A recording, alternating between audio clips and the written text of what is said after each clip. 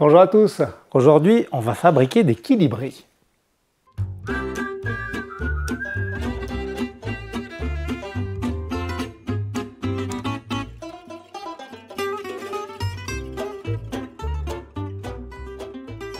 Alors l'équilibri, c'est un jeu à base de planchettes de bois que j'ai inventé et qui permet de faire tout ce qu'on peut faire avec des planchettes plus classiques, mais aussi beaucoup plus.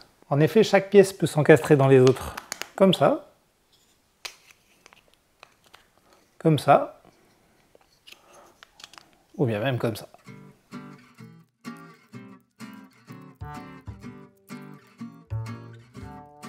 Du coup, on peut faire des grands ponts entre deux tours éloignées,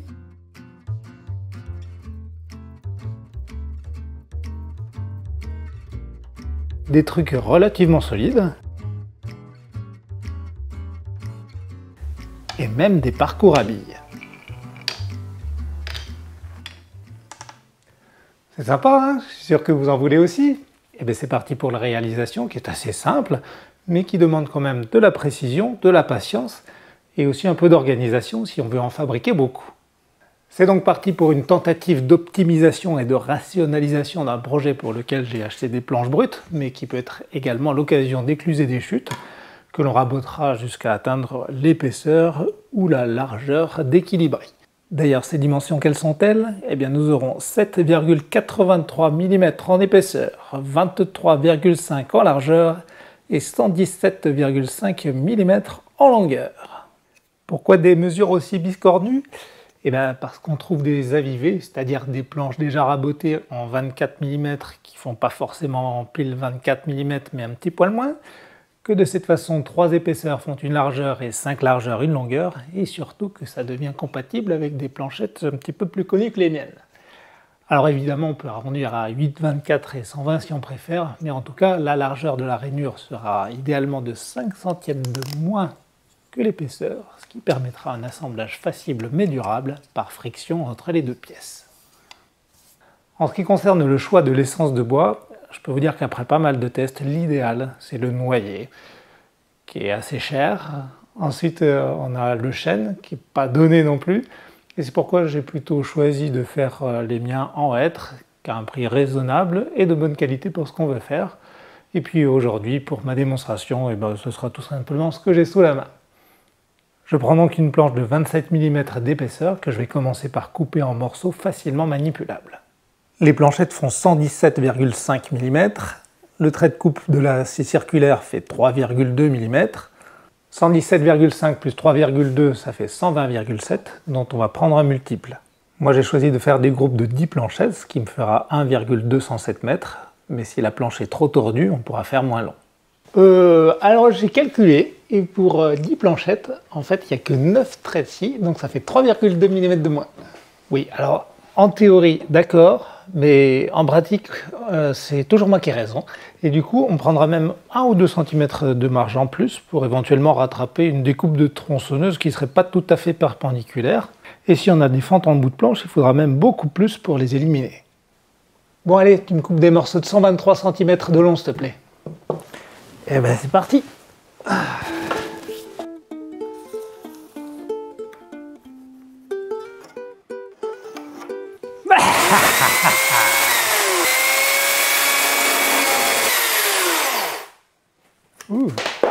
on est au-delà de l'enthousiasme. Bon, pendant qu'il se calme, on va réfléchir à l'optimisation des découpes, parce que mine de rien, on va en perdre du bois. En effet, il y a beaucoup de petits morceaux et donc beaucoup de traits de scie, et ce serait bien d'en minimiser la largeur et le nombre.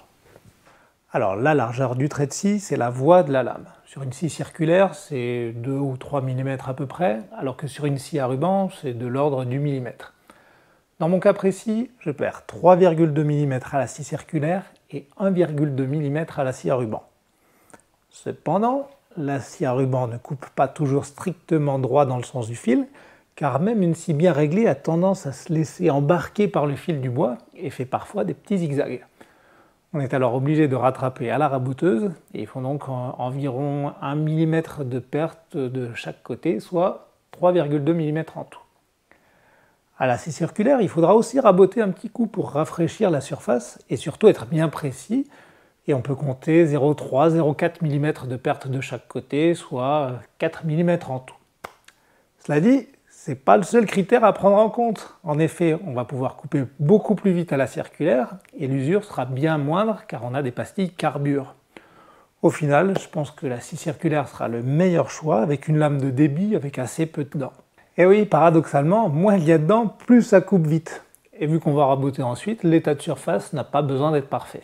Ici par exemple, j'ai un pas, c'est-à-dire un espace entre les dents d'environ 35-36 mm. Maintenant, on va réfléchir à la disposition des petites planchettes dans la masse de la planche. Pour ce qui est de la largeur de ces sous-ensembles, eh bien, je vais d'abord enlever l'écorce du bois, puis éventuellement l'aubier, qui est une partie du bois qu'on ne peut pas utiliser en menuiserie. Je vais compter 2 mm de marge pour le dégauchissage, pour faire bien droit ici. Ensuite, 8 mm de planchette. Faites 83 Mes 4 mm de coupe si circulaire plus rabotage. Ensuite, 8 mm de planchette plus 4 de perte, 8 de planchette, plus 4, plus 8, plus etc., plus 2 de marge à la fin, ce qui peut par exemple faire 72 mm. Bon attention, hein, il n'y a pas tant de marge que ça. Si vous avez un doute, il vaut mieux ajouter quelques millimètres qui partent en copeaux plutôt que de perdre toute une série de planchettes pour trois fois rien. Je déligne rapidement ma planche en immobilisant le bois sur le chariot, idéalement en entrée et en sortie, ou au minimum en entrée avec un petit dispositif comme celui-ci. Ça peut paraître contre-intuitif, mais il faut mettre le côté convexe sur la table pour ne pas avoir de problème de stabilité lorsque le bord de la planche va se détacher.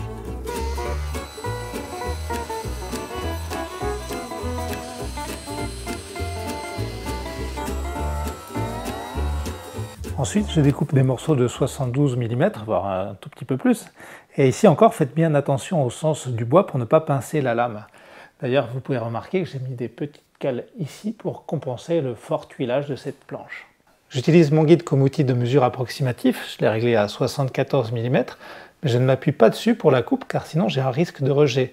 J'ai laissé un petit espace de 1 à 2 mm ici, et en bridant la planche sur mon chariot, je n'ai aucun problème.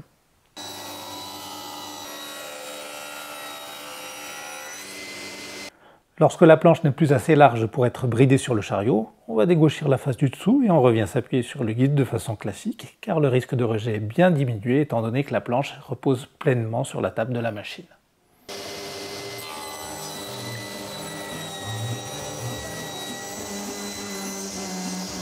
Et maintenant que j'ai mes morceaux, direction la dégauchisseuse pour faire d'abord une face par sous-ensemble,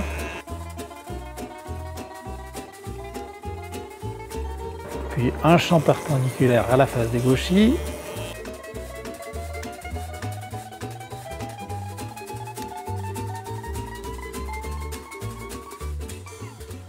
Et ensuite on passe tout ça à la raboteuse pour obtenir de jolis parallélépipèdes.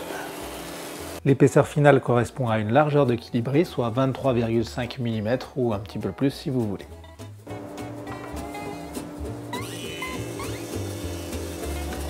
Bon, vous remarquerez que c'est décidément un épisode pour l'assistant car les tâches sont assez répétitives.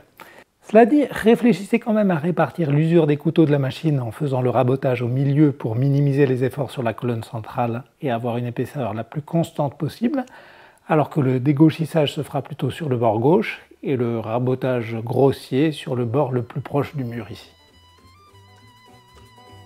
Ensuite, on repasse à la scie circulaire pour découper les deux premières baguettes, une de chaque côté,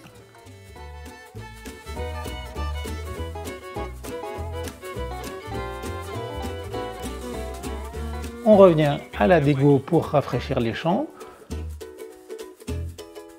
Puis on repart à la scie circulaire, etc. Au fur et à mesure qu'on enlève des baguettes, le morceau devient de plus en plus fin et le dégauchissage devient de plus en plus dangereux, surtout en fin de passe. C'est pourquoi je vous recommande l'utilisation d'un poussoir et si ça vous paraît un petit peu trop dangereux, il faut garder un côté dégauchi et rafraîchir l'autre côté à la raboteuse. Ah oui, petite astuce, lorsqu'on en arrive à la séparation des deux dernières baguettes, vous voyez que le morceau est quasiment carré et il est très facile de confondre largeur et épaisseur. C'est pourquoi je vous recommande de faire un trait de repérage sur les morceaux quand ils sont encore assez larges.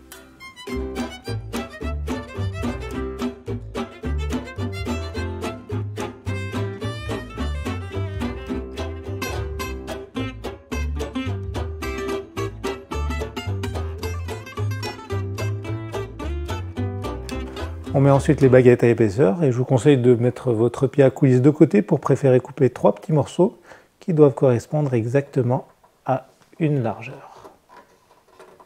Alors petite astuce pour gagner du temps, ici les faces de côté sont déjà rabotées et les hauteurs avant rabotage sont très voisines, c'est-à-dire moins de 5 dixièmes de millimètre d'écart et on peut donc en passer plusieurs à la fois.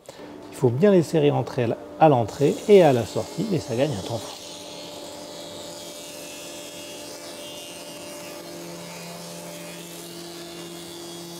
Ensuite, on va passer au rainurage. Alors on peut faire ça avec une défonceuse sous table, mais l'idéal quand on vise des grandes quantités, c'est la toupie, éventuellement accompagnée de l'accessoire semi-industriel qu'est l'entraîneur. C'est le moment d'être bien précis, quitte à faire plusieurs essais. Il faut s'assurer que la rainure a pile la bonne largeur pour accueillir le champ d'une planchette.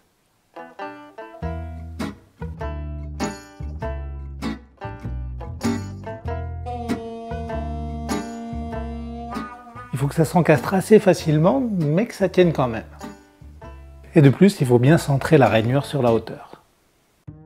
Enfin, la profondeur de la rainure fera la moitié de l'épaisseur de la planchette.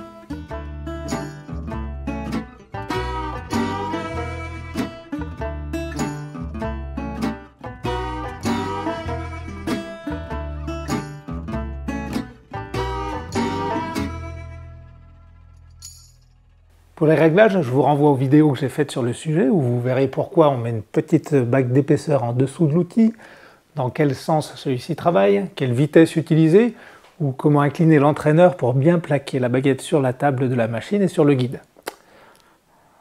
Bon allez, petite astuce tout de même, si le réglage idéal tombe entre deux épaisseurs de bague. La plus fine à ma disposition faisant un dixième de millimètre, je m'en suis taillé une dans du papier journal. Si si, je vous assure, ici ça fait vraiment toute la différence.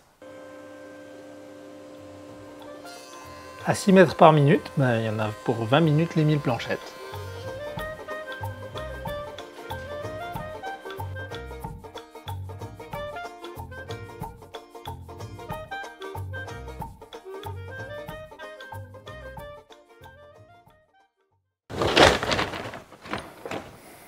Ça fait un joli tas et c'est le moment que j'ai choisi pour casser les arêtes, c'est-à-dire euh, poncer légèrement les coins pour que l'on ne se blesse pas en manipulant l'équilibri. Alors j'ai envisagé une tonne de méthodes. Faire un passage forcé en sortie d'entraîneur avec des papiers de verre, repasser chaque arête avec une fraise à 45 et éventuellement optimiser en faisant fabriquer un fer sur mesure qui usine les deux coins en même temps, euh, utiliser un rouleau de ponçage, incliner les baguettes pour passer le tout à la calibreuse, travailler au rabot. Au final, le meilleur compromis me semble simplement d'enrouler un papier de verre de grain 150 comme ça de travailler à la main.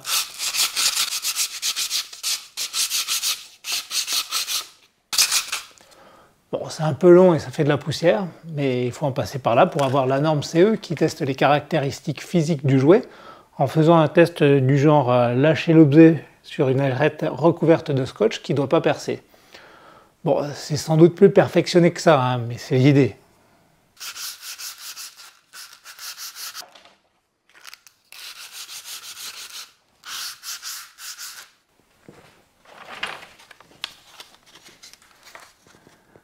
Et ben voilà, plus qu'à tronçonner. On change la lame pour avoir la meilleure qualité de coupe possible tout en étant rapide. Ici, j'utilise une denture alternée et un pas de 15 mm environ. Alors si on coupe chaque planchette individuellement, évidemment ça prend du temps et là aussi j'ai tenté d'optimiser. J'ai donc construit un gabarit qui permettait de couper 25 planchettes d'un coup.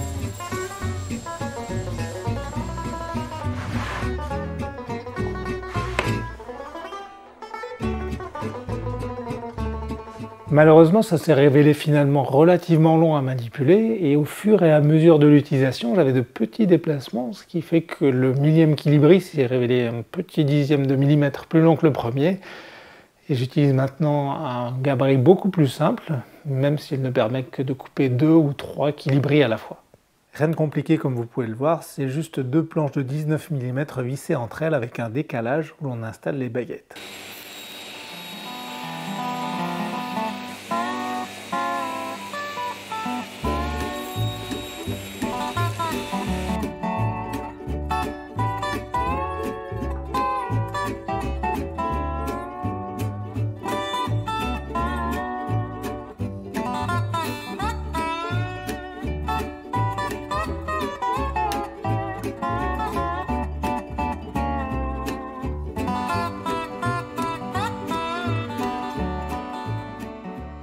J'installe ensuite ces équilibris dans un autre gabarit pour poncer et bavurer légèrement les extrémités.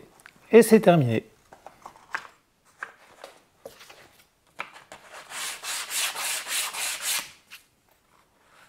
Bon, terminé, terminé, presque terminé parce que j'ai décidé de faire un dernier gabarit pour faire un joli packaging.